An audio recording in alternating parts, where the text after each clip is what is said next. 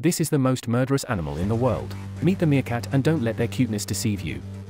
One in five will be violently dispatched by another meerkat, likely their own mother, sister, or auntie, demonstrating how the female of the species really is more deadly than the male. If you compare meerkats to other mammals, then you'll see just how much more homicidal they are. It's 20% versus 0.3%.